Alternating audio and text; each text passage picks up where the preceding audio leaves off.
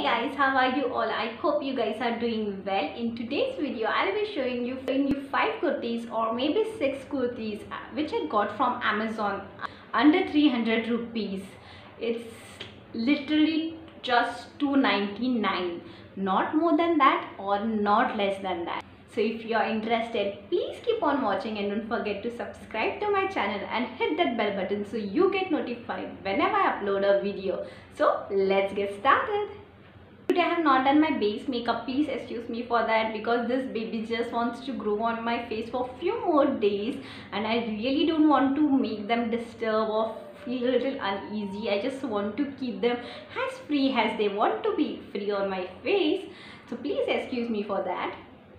So all the kurtis mentioned in this video are of 299 rupees in M size and all are of uh, crepe material. It's not cotton who wears just cotton clothes. Please skip this video because all the kurtis are crepe printed tops. Side of every top is plain on and you can see on only on the front side it is printed.